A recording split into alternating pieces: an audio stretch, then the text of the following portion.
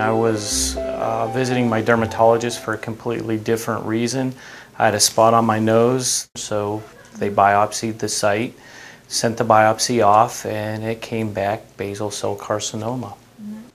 Hey Sean, how are you? Dr. Jaffe, nice to see you. Nice to see you. Okay, so you've been diagnosed with basal cell skin cancer. Are you familiar with basal cell? I am somewhat. Cancer. The first, you know, I'm 39, a father of two. It, it kind of made me take a couple steps back. You know, the, the thought of somebody uh, essentially cutting tissue out of you uh, is, is scary. But um, honestly, after speaking with Dr. Jaffe and, and his nurse Sabrina, I was I was definitely put at ease, and um, the, the fear factor definitely subsided to, to virtually none. So, in terms of the Mohs process, basically what will happen is we're going to get the area numb after it's marked, and then I'll come in and remove the area with the scalpel. We then check that tissue under the microscope while you wait.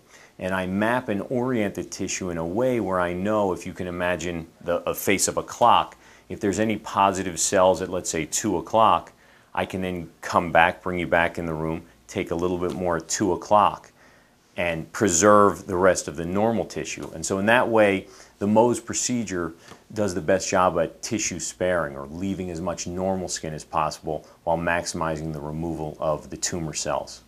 Okay? Do you have any questions before we start?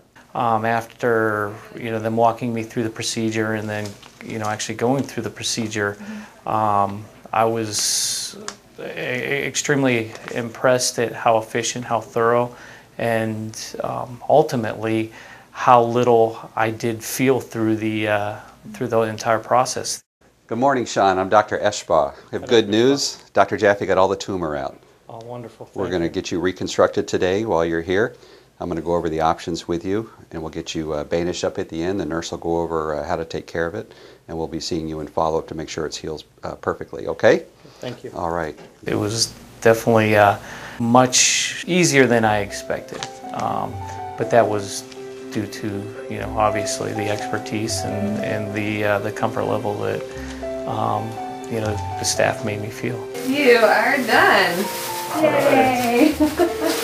You know this was a huge eye opener for me. So scary. I see you had your stitches out about a week and a half after the surgery. Everything ap- appears to be healing nicely. There's a little bit of redness there, which is typical this early after the surgery in the healing process. So it's very important to use the scar fading cream that we talked about and keep it out of the sun. The scar fading cream has a sunblock in it that will help with that redness. If it persists, we have a little laser we can use to zap that, and it'll make that redness feel, uh, heal faster, okay? Having this one skin cancer here puts you a little bit higher risk for having another one in the future. So it's very important to get the regular screening by your dermatologist. Okay? Okay. Very good. You have any questions? No. I think All Very good. We'll see you at your annual screening, all right? Thank you. Very good. I couldn't be more happy with the outcome that I've received.